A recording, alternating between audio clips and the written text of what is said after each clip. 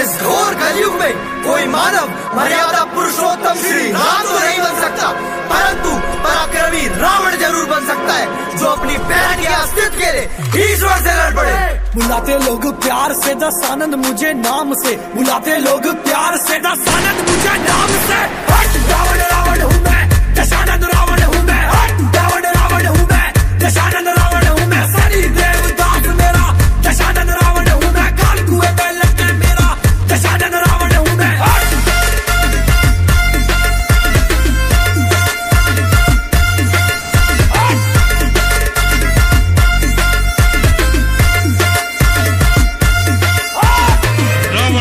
जाएगा परंतु झुकेगा नहीं।